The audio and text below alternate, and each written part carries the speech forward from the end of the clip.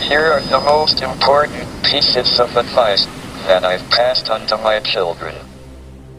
1. Remember to look up at the stars and not down at your feet. 2. Never give up work.